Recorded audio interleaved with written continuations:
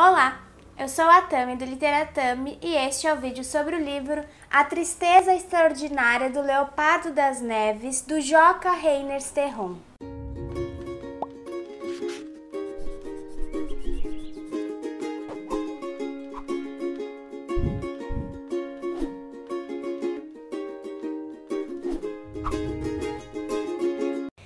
Você, assim como eu, gosta de narrativas que acontecem na cidade de São Paulo, este livro provavelmente vai te interessar bastante, porque ele é um livro em que a maior parte dos acontecimentos se dá no Bom Retiro, um bairro aqui do centro da cidade de São Paulo, bastante conhecido por acolher imigrantes coreanos, bolivianos e judeus já há bastante tempo. E o Bom Retiro vai atuar aqui não apenas como cenário, mas como uma espécie de personagem, porque a escolha dele foi muito bem pensada pelo Joca Reiner Serron para que todas as peças deste livro pudessem se encaixar de acordo com a sua posição em relação ao Bom Retiro. Eu vou tentar explicar isso melhor, mas aqui a gente vai ter um narrador que é escrivão de polícia e ele mora com o pai dele, que é um imigrante do leste europeu de descendência judia, e ele é filho de uma mãe negra. Então ele é filho de mãe negra e pai judeu que se casaram muitos anos antes dele nascer, causando assim uma espécie de polêmica, de rebuliço em toda a comunidade do leste europeu que vivia no Bom Retiro. E o fato deste narrador ser filho de pai judeu e mãe negra é um ponto muito delicado para ele, para a formação da sua identidade, ainda mais porque ele mora neste bairro do Bom Retiro, então ele está cercado por grupos identitários que, ainda que estejam deslocados né, nessa situação, nessa condição de estrangeiros, vindos de outros países, eles estão unidos, né? E eles são bastante identificáveis, eles pertencem a uma comunidade e eles sabem quem eles são, ainda que essa determinação identitária muitas vezes envolva preconceitos e violências por parte de outras pessoas, eles pertencem a alguma comunidade, né? Enquanto ele, este narrador, que nasceu ali, não se reconhece em parte alguma. E essa sensação de inadequação está potencializada porque ele é um personagem que sofre de insônia, pelo menos nesse momento narrativo ele não dorme e ele também se força a não dormir. Além de ter insônia, ele toma remédios e tal para se manter acordado, e isso faz com que a narrativa ganhe áreas de desorientação, sabe? A gente tá falando de um narrador não apenas desorientado, mas também atormentado pelos fantasmas do seu passado, das suas raízes, que às vezes ele mesmo desconheça o poder dessas assombrações. E essa falta de sono faz com que ele tenha uma percepção do tempo diferenciada, mas casa muito bem com o trabalho que ele realiza como escrivão, porque ele é escrivão noturno da delegacia de polícia lá perto de onde ele mora. E nesse momento da narrativa ele está acompanhando um caso estranho que se passou no zoológico chamado Nocturama e que inusitadamente acaba fornecendo muitas informações, muitas questões e também muitas respostas relativas à sua própria individualidade. E aqui a gente tem o grande trunfo desse livro, dessa narrativa, que é o modo com que as coisas se entrelaçam aqui. Dificilmente a gente vê um livro tão bem costurado, eu acho que essa é a palavra, quanto este livro aqui do Joca Reiner Serron. Eu realmente fiquei muito impressionada. Mas então, a gente vê o escrivão comentando um pouco sobre este caso que ele está acompanhando e o livro vai ser dividido em dois capítulos que se alternam, em dois nomes de capítulos que vão se alternando. O primeiro é o escrivão, o segundo é o mundo animal, o terceiro é o escrivão, o quarto mundo animal e por aí vai, né? Os, os capítulos pares, então, denominados mundo animal, fazem referência a esta situação estranhíssima que aconteceu é, no zoológico Nocturama e com a qual este narrador entrou em contato por, justamente por ser o escrivão responsável, né, por arquivar aquele caso, escrever aquele caso. Mas o que, que acontece? Nessa parte do mundo animal, a gente vai ter então a apresentação de uma criatura, é assim que ela é chamada o tempo todo pelo narrador, que é uma pessoa com doença de pele, com dificuldade de fala, que precisa o tempo todo estar é, fora do sol, fora da luz, ela não resiste ao sol, faz muito mal para ela. Então ela é cuidada por uma mulher muito religiosa, ela acaba morando num casarão típico, tradicionalíssimo ali do Bom Retiro, e elas nunca podem sair. A condição é que elas têm que ficar em casa sempre. Só que essa é uma narrativa pós-perícia. Então já aconteceu um crime, a gente já sabe que isso acontece desde o início. E essa mulher que cuida da, dessa criatura, ela decide um dia fazer um passeio noturno no zoológico do Nocturama, era um passeio de inauguração porque neste zoológico havia um leopardo das neves que encantava muito a criatura. A criatura passava os dias dela lendo enciclopédia sobre animais e a figura do leopardo das neves agradava muito essa criatura e elas decidiram então arriscar, já que o passeio era à noite, não podia haver muitos problemas, né?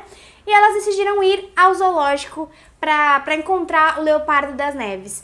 Mas, naturalmente, isso a gente já sabe também desde o início, então não é spoiler. Acontece alguma coisa que não deveria acontecer e justamente por isso este caso passa para a polícia, né? Eu acho que sobre o enredo é isso que eu posso falar para vocês sem comprometer a experiência de leitura, mas é muito interessante o modo com que este narrador escolhe as palavras e narra a sua situação, né? E a situação do pai, a situação da criatura com a qual ele entra em contato através do seu trabalho, porque parece assim, logo de cara, a sensação que a gente tem é que tá adentrando um delírio, que este personagem talvez esteja delirando, uma sensação causada pela sua desorientação, pela falta de sono, né? Mas desde o início também parece haver uma relação muito profunda e estranha e até assim inexplicável mesmo entre o escrivão e a criatura. Algo que vai além do fato de ele ter escrito a história dela, sabe? É como se houvesse um laço que liga o problema da identidade, né? Dessa indefinição que a criatura vai encarnar de um modo explícito, né? Só pelo jeito com que ela é tratada de criatura, a gente já sabe que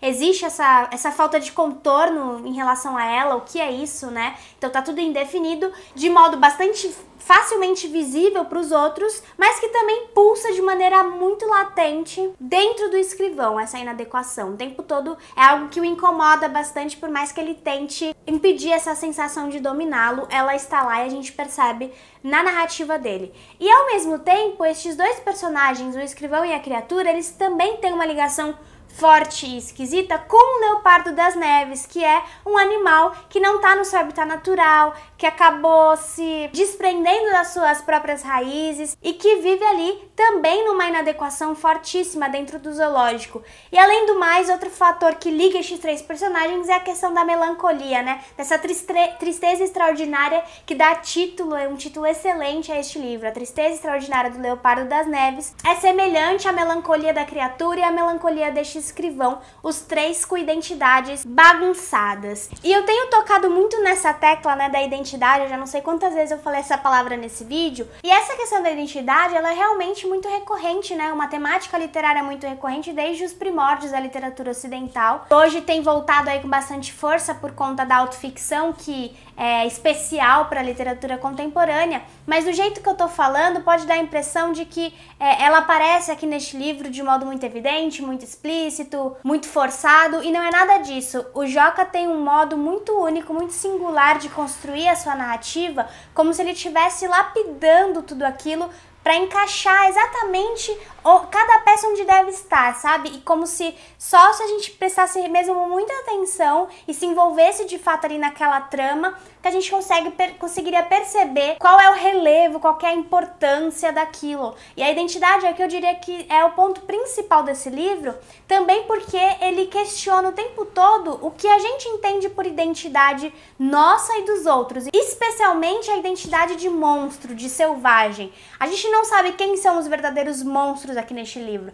De cara, a gente pensa, né, que o leopardo é uma fera, que essa criatura animalesca também, bestial, tem alguma coisa de selvagem, mas o, o, o, Joca brinca, subverte todas as nossas crenças, as nossas expectativas e propõe aqui uma espécie de nova ótica, na medida em que ele faz com que os seus protagonistas sejam peças desencaixadas das engrenagens do comum. São essas peças que se desencaixam ali de modo muito sutil que o dentro de uma cidade, né, de uma megalópole como São Paulo, que o Joca vai recuperar e trazer ao foco do seu livro. Eu vou ler para vocês um trecho da página 133 que eu acredito que possa ilustrar bem o que eu tô tentando dizer. É um trecho em que o narrador tá contando pra gente uma coisa que aconteceu quando ele era criança, em que ele passou talvez pela primeira vez a questionar a sua identidade, a sua aparência como menino é, filho de mãe negra e pai branco, que não tinha, não parecia muito com o pai, que perdeu a mãe logo cedo, então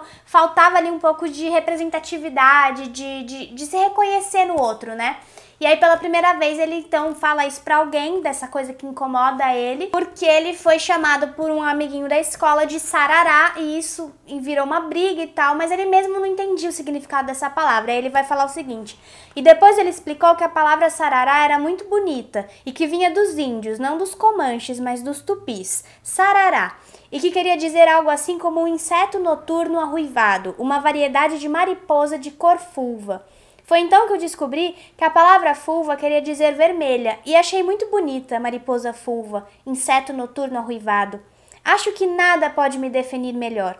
Tenho impressão que é isso que sou, uma mariposa fulva, um inseto noturno arruivado e negro, um lemingo que se afoga no oceano, um comanche cujos bisontes se lançaram no despenhadeiro. Então tem toda essa questão da, de estar descobrindo a sua própria identidade enquanto ser humano de modo muito relativo ao animal. Então existe essa aproximação entre o humano e o animal, entre a criatura bestial e a mariposa leve e colorida, que vai meio que nortear o livro e que em certa medida justifica todas as escolhas feitas pelo Joca em relação é, ao, ao local, né, o fato de ser o Bom Retiro, a profissão dos personagens, o modo com que eles são descritos, então tudo foi muito bem pensado. Então o Joca vai não apenas se aprofundar na questão da identidade, mas propor talvez uma nova definição do que é identidade a partir dos seus personagens, porque eles são personagens com identidades sim muito marcadas, muito reconhecíveis, eu diria, tanto que a gente consegue perceber o que há de comum em todos eles, mas ao mesmo tempo eles são é, pessoas sem contornos definidos, sabe? Pelo contrário, eles parecem cada vez mais desmanchados até acontecer o ápice ali da noite de crime do Nocturama, em que tudo também ganha uma explicação meio tridimensional que une é, a criatura, o Leopardo das Neves e o Escrivão. E é curioso porque dos personagens, embora eles tenham essa presença muito forte, esse traço bastante reconhecível, deles ficam apenas vestígios, sabe? E, e, isso, aliás, essa noção de ficar apenas o vestígio me lembrou uma cena maravilhosa, espetacular mesmo, de descrição de fotografia aqui neste livro. Eu vou, eu vou pegar ela para ler para vocês, porque é, é, é, quando o escrivão tá olhando uma fotografia antiga da mãe dele, que já morreu há muito tempo, e essa fotografia tá praticamente se desfazendo, né? Desbotando ali com o sol e ele tá quase esquecendo qual é o rosto da mãe dele. Isso é logo no início do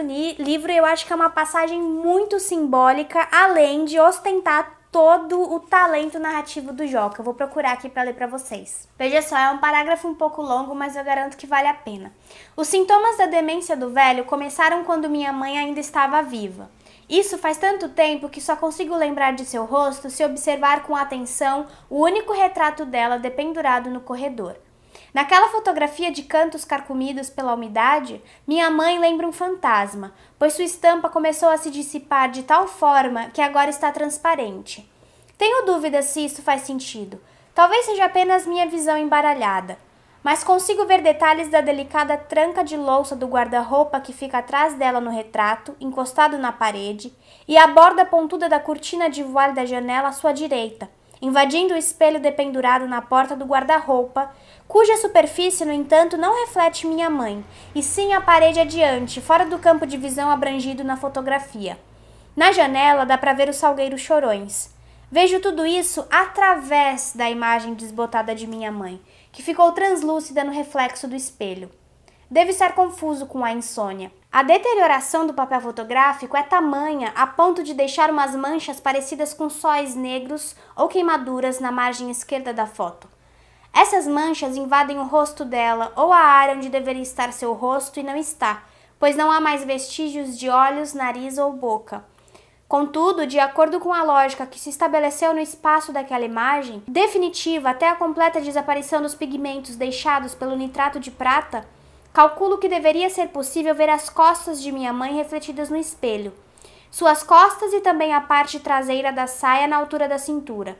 Porém, nada aparece no reflexo. Nem isso, e muito menos o fotógrafo ou um mero detalhe que seja dele, um cotovelo arqueado que fosse ao segurar a câmera, que não devia ser pequena, e pela antiguidade da fotografia nem ao menos era portátil, ou então o bico gasto de sua botina. Seria o velho o autor daquele retrato? Talvez esteja invisível na foto, assim como a velha. No entanto, ela ainda pode ser levemente percebida, pela forma de sua cabeça pender à esquerda na silhueta abaulada parecendo a de uma grávida, como se suportasse demasiados problemas, mesmo que seus detalhes fisionômicos não sejam visíveis, mesmo que sua voz não esteja mais audível. O velho está ausente até na fotografia na qual não deveria estar. Aquele retrato de minha mãe é a única fotografia da nossa família. Eu acho esse trecho incrível, assim, e depois que a gente termina de ler e percebe a importância desse retrato, ele ganha ainda mais potência e mais qualidade mesmo. Eu fiquei impressionadíssima com o modo com que o, o narrador do Joca vai descrever toda uma estrutura familiar com base na ausência, né, no que fica só de vestígio. E é justamente assim que se caracteriza, que se categoriza a personalidade desses três personagens, a identidade dos personagens aqui dentro. Então esse é um livro que vai tratar da memória, vai falar sobre a morte, sobre a velhice, sobre a demência, como vocês viram, né? O pai do narrador, ele já tá num estado de velhice muito avançada e ele acabou ficando ali, como ele chama, demente. Ele fala muito sobre a estagnação e sobre essa melancolia nervosa mesmo, da potência resistente dessa melancolia, da potência da fragilidade.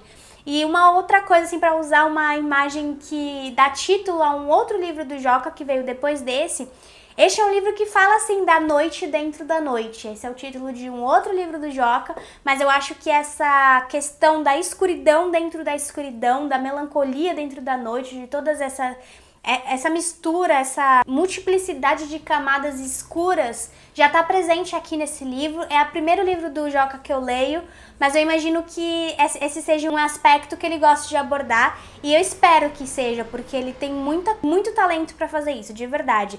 E é muito curioso porque esse livro, eu moro em São Paulo, eu sou apaixonada por São Paulo e essa história se passa aqui, mas existe alguma coisa de distópico nele, sabe? E depois eu percebi que é justamente o cerne do centro paulistano que foi capturado por essa prosa rigorosa do Joca, sabe?